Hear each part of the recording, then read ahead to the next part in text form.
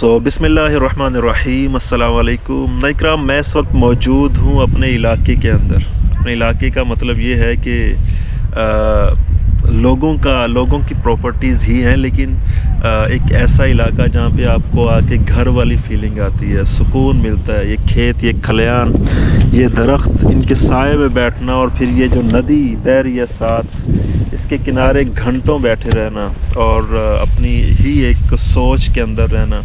ये हवा जो एक लमस सा पैदा करती है, आपके गालों से टकरा के, ये परिंदे जो चहचहाते हैं तो ये सारी चीज़ें और फिर इन सारी चीज़ों के बाद आपकी खुशी दोबाला हो जाती है जब आपका दोस्त साईवाल से छुट्टी लेके आता है और आपको कुछ लम्हात आप पे नछावर करता है। so, मेरे साथ मौजूद हैं जनाब मौजम अली साहब जो after a long long long time मुलाकात हुई है 2024 में दैट्स ए फ़र्स्ट मीटअप और इससे पहले 2023 में भी कोई महीना मुलाकात नहीं हुई। कोई ढाई माह के बाद डॉक्टर साहब तशरीफ़ लाए हैं। आज हम इनसे मज़े की बातें करेंगे कुछ पर्सनल कुछ बिज़नेस के बारे में कुछ इलेक्शंस के बारे में। सो so, इनकी कंपनी को हम इंजॉय कर रहे हैं और आपको भी कुछ करवाते हैं। अस्सलाम वालेकुम सर वालेकुम अस्सलाम। मज़े की बातों के अंदर कारोबार कहाँ से आ गया? बिज़नेस की बातें तो मज़े की नहीं होती। बिज़नेस तो ऑब्वियसली एक रूट सी चीज़ होती है। सो so, कैसे हैं सर अल्लाह का बड़ा इतना टाइम के बाद हमने आपको कॉल्स मैसेजेस करते रहे। क्यों नहीं दिया हमें वक्त? हमारे ऑडियंस पे भी आपका हक है भाई। साल में एक आधा महीना गोशा नशीनी इख्तियार करनी चाहिए। अच्छा। ताकि आप जहनी तौर पे ना रिलैक्स वो शेख रशीद साहब ने भी एक चिल्ला काटा था। हाँ। उस टाइप की तो नहीं गोशा नशीन। आजकल ये वाली और तरह की गोशा नशीन सो कैसा फील हो रहा है अपने इलाके में ये पुरफिजा जगह पे बैठ के? आप तो अच्छा, माशाल्लाह कीड़े हैं इस जगह के। हमें भी लेके आ जाते हैं। वो किसी सूफी ने एक बड़ी खूबसूरत बात कही थी। उन्होंने कहा कि इंसान की फितरत को ना वतन की मोहब्बत के साथ गूंदा गया है। तो हम्म। हमें भी इस वतन की मोहब्बत के साथ गूंदा गया है तो वतन साढ़ा पेंड ही है बस।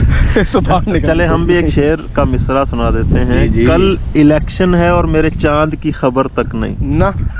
चाँद तो खैर आ चुका है। असल शेर ये है कि कल ईद है और मेरे चाँद की खबर तक नहीं। माशाल्लाह। तो इलेक्शन को किस नज़र से आप देखते हैं? ये M P M N A जो बनते हैं ये क्यों बनते हैं? इलेक्शन क्यों होता है यार?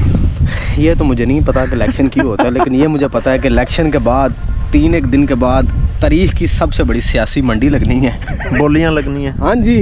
सही है। वो आपने अभी तक प्रॉपर्टी में देखा ना बोलियाँ लगती हैं हाँ, मंडी आप साहब लगा रहे होते हैं। हाँ। आप देखेंगे कि सियासत की, पाकिस्तान की तारीख की सबसे बड़ी मंडी लगेगी दो तीन दिन के बाद, और आपका वोट बेचा जाएगा। अच्छा मौज़म साहब, ये लोग हमारे साथ बैठ के किसी सस्ते से होटल पे चपाती और चाय खा रहे हो, पी रहे होते हैं और फ़ोटो बनवा के कि हम अवामी लोग हैं, फिर पाँच साल नज़र नहीं आते हैं। तो क्या कहते हैं आप यार? ये क्या मुनाफ्त ये क्या ड्रामेबाजी नहीं नहीं ठीक है सर जी। महीने दो महीने के लिए वो अवामी लोग बन जाते हैं। आप उन्हें क्रेडिट देंगे दो महीने के लिए वो बनते हैं पाँच साल अच्छा, बाद अच्छा, अवामी अच्छा। लोग। अच्छा बहुत एक्सट्रीम लेवल पे वो अवामी लोग बन जाते हैं। तो किसको वोट कास्ट कर रहे हैं फिर आप? वोट यार दिल नहीं करता पे वोट किसी भी देन थे वैसे टेक्निकली मैं सही कहने अच्छा, अच्छा अच्छा। अगर आप नज़रिए की बात करें ना तो आप कहेंगे कि यार मुझे फ़लाँ लीडर की आइडियालॉजी पसंद है। मैं उसको वोट देना चाहूँगा। लेकिन उसने जो बंदे यहाँ पे खड़े कर दिए हैं, वो बंदे मिलने पसंद है सही है। अच्छा मैं ये समझता हूँ कि ये जो इलेक्शंस होते हैं, ये चीज़ें होती हैं, ये जो कोई अहदा मिलता है, अब M N M P A बनते हैं, ये ऐसी ज़िम्मेदारी होती है इस पर ऐसी पूछ गछ होनी है कि अगर आपको उस ज़िम्मेदारी का अंदाज़ा हो जाए तो लोग आपके तरले करें, आप सीटों से भागें। लेकिन ये लोग सीटों की तरफ़ भाग रहे होते हैं, अख्तियार समझते हुए, अयाशी समझते हुए, हुकूमत समझते हुए करप्शन के चांसेस को देखते हुए, और बहुत सारे इस तरह के मामला को देखते हुए। तो अगर इनमें थोड़ा सा भी वो हो कि भाई ये तो ज़िम्मेदारी है पूछ गछ होनी है आप पूरी दुनिया के अंदर अगर देखें ना यूरोप कंट्रीज़ के अंदर आप चले जाएँ क्योंकि डेमोक्रेसी का यहाँ पे एक सिस्टम है तो देखें कि डेमोक्रेसी सबसे ज़्यादा फाल कहाँ पे है या किन मुल्कों के अंदर जो है वो डेमोक्रेसी की वजह से तब्दीलियाँ आई हैं हम्म। वहाँ पे लोग आपको इतने उतावले होते नज़र नहीं आएँगे सीट्स हम्म। के लिए आप अक्सर देखते हैं कि जी फलाने मिनिस्टर ने फलां मुल्क के अंदर जब अपनी कुर्सी छोड़ी अहदा छोड़ा हम्म। वो एक कॉमन सा आदमी पहले भी था कॉमन सा आदमी रहा लोगों के पास से गुजर जाता है वो होता ही अवामी अब यूके में देख लें हाँ कितनी आसानी से उन्होंने छोड़ी उन्होंने अपोजिशन की वो मेंबर को दे दी वहाँ पे ये सारा कुछ नॉर्मल है उन लोगों के अंदर यहाँ पे बड़ा स्पेशल है क्योंकि बहुत बड़ा पैसा छापने का एक मौका मिल जाता है ना पाकिस्तान। के अंदर पाकिस्तान सही है। तो ये करप्शन होती है और हम इस तरह गरीब के गरीब रह जाते हैं और दूसरी चीज़ें होती हैं। अवैस भाई बिज़नेस हो रहा है। देखें वो जो अवामी बंदा दो महीने के लिए बना हुआ है ना उसे पता है कि मैंने पाँच सात दस करोड़ रुपए खर्च करने हैं हम्म। और तीन चार दिन के बाद मैंने उससे दस गुना पैसे ले लेने हैं। सही। चले इलेक्शन को साइड पे कर दे तो वैसे क्या चीज़ें जा रही हैं? प्रोजेक्ट कंप्लीट हो गया साईवाल वाला जो हो नहीं प्रोजेक्ट अभी चल रहा है। सही है। इंशाल्लाह हो जाएगा कंप्लीट जल्दी। तो प्रॉपर्टीज़ में कब एंटर हो रहे हैं? क्लाइंट्स जल्दी आ बहुत जाएँगे ज़्यादा। इंशाल्लाह जल्दी आ जाएँगे। मेरे पास वक्त तो है आजकल लेकिन पता नहीं क्यों सुस्ती आजकल बड़ी पड़ी हुई है। सस्ती पैसा ज़्यादा हो गया आपके पास। आएँगे इंशाल्लाह जल्दी। चल anything else you want say to my clients अपने क्लाइंट्स के लिए ऑडियंस के लिए कुछ कहना चाहेंगे कोई मैसेज देना चाहेंगे? अवैध साहब के साथ जुड़े रहें। आजकल मार्केट के अंदर मैं देख रहा हूँ बड़े सोशल मीडिया इन्फ्लुएंसर्स आ गए हैं प्रॉपर्टी के हवाले से।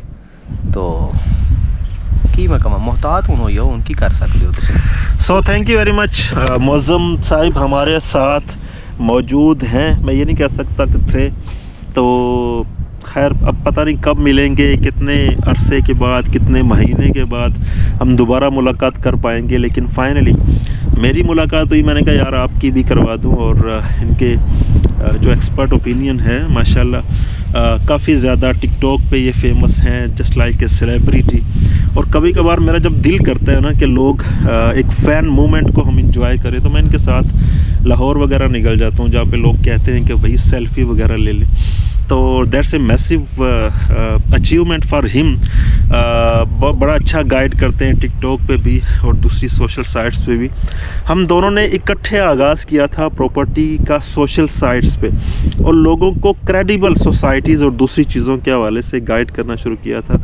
लेकिन आजकल इतना ज़्यादा अबेंडेंस के अंदर एक हजूम यूट्यूब पे आ चुका है जो लोगों को मिस गाइड कर रहा है झूठ बोल रहा है अ, ऐसी प्रॉपर्टी सामने रख रहा है जो जिसकी कोई इम्पोर्टेंस नहीं है ज़ीरो इम्पोर्टेंस है, पैसा ज़ाया है, और चक्का चूंद रोशनियाँ हैं। लोग डिफरेंट किस्म का ग्लैमर यूज़ करते हुए आपको फंसाने की कोशिश कर रहे हैं। सो मैं आपको कहूँगा कि आप सब अवेयर रहिए, और ऐसी प्रॉपर्टीज़ से बचिए, ऐसी जगह पे इन्वेस्टमेंट करने से बचिए जहाँ पे आप फंस सकते हैं। ऐसी जगह पे इन्वेस्टमेंट कीजिए जो बंदा, जो कंसल्टेंट अच्छा हो, जो डेवलपर अच्छा हो, और सारी चीज़ें अच्छी हों। खैर, किसी भी किस्म की बुकिंग आप करवाना चाहते हैं नंबर स्क्रीन पे मौजूद है।